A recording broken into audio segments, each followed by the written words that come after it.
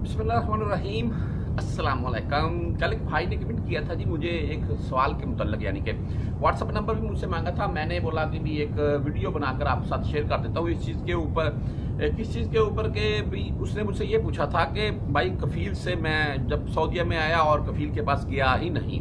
मैं कहीं और काम कर रहा हूँ पासपोर्ट मेरे पास है सात माह हो गए कामा वगैरह नहीं है मेरा और पासपोर्ट वैसे मेरे पास है, जो आपको पता है वैलिडिटी होती है, नब्बे दिन की उसको विज़िट वीज़ा आप बोल सकते हैं। यानी कि नब्बे दिन का आपको टाइम होता है आप जब यहाँ से जाते हैं। तो वो भी खत्म हो चुके हैं, ज़ाहिर सी बात, अभी तो सातवा हो चुके हैं कामा वगैरह नहीं है साय खास हूँ ऊपर से।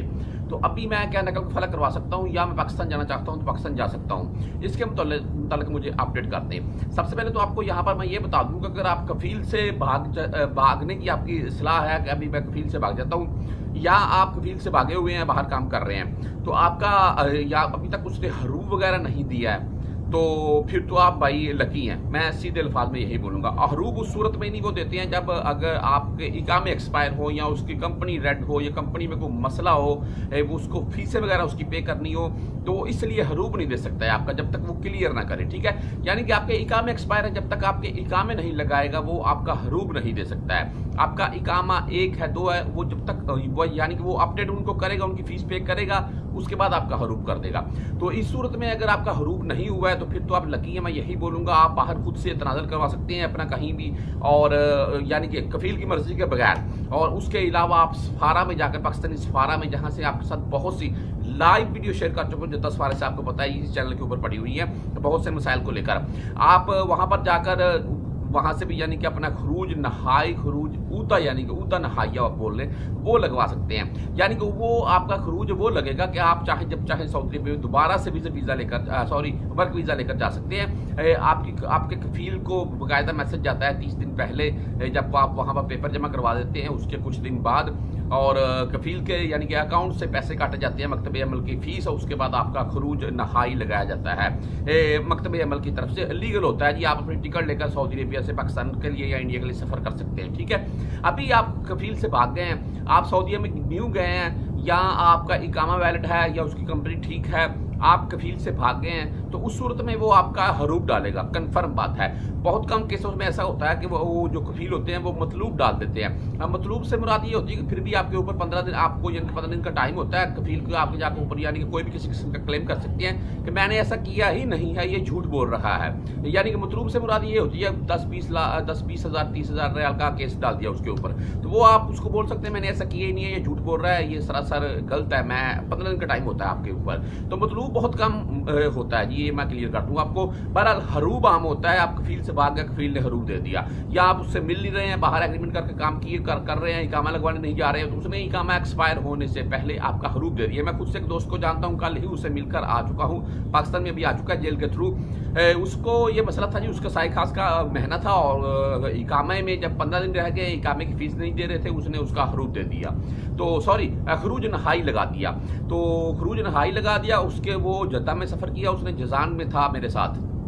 तो जद्दा में कुछ दिन गुजारे अपनी टिकट वगैरह लेने के लिए, जब पासपोर्ट उधर टिकट वाले को दिया तो उसने चेक किया, उसका पासपोर्ट, उसने बोला, तुम्हारे तो भाई हरूब लगा हुआ है। तो उसने बोला भी मेरा तो खरूज नहाई लगाया था, खरूज ने। उसने बोला, नहीं, उसने खरूज नहाई तुम्हारा कैंसिल करा करके हरूब लगा दिया, क्योंकि अभी सात आठ दिन बाकी थे। उसने बोला, ये बंदा नहीं जा रहा है और ना ही इसकी जाने की सलाह तो मैं इसका हरूब देता हूँ, बाद में ये नहीं गया अगर तो मुझसे पूछ होगी। कि आपका ये बंदा कहाँ चला गया, आप सारी कामा क्यों नहीं लगा रहे हैं? ऐसे केस भी हो जाते हैं। तो उस सूरत में फिर आपका कफील आपका, यानी कि अगर हरूब दे देता तो आपके पास पंद्रह दिन टाइम होता है मकतबे मतलब आप ये पूछे सोच रहे होंगे हरूब कैसे चेक करना है? वजारत अमल लिखें गूगल के ऊपर, अपना ये कामन नंबर देकर आप खुद से अपना ऑन दी जॉब या आप हरूब वगैरह। मुतगैल अमल, ये भी लिखा है अगर आपका हरूब है, ठीक है जी? तो वहाँ पर आप चेक कर सकते हैं। हरूब दे दिया, फिर भी आपके, आपको, आपके पास पंद्रह दिन का टाइम है, आप चले जाएँ मकतब अमल में चले जाएँ।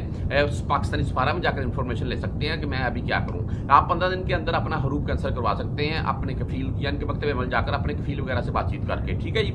अगर पंद्रह दिन से जायद का टाइम हो चुका है फिर आपका हरूफ कैंसिल नहीं होगा फिर आपका कफील ही आपका हरूफ कैंसिल कर सकता है। इस सूरत में ये होता है कि आप फिर अपने हरूफ दे दिया आपने पाकिस्तान वापस आना है तो सफारा से आप आ सकते हैं एक तो।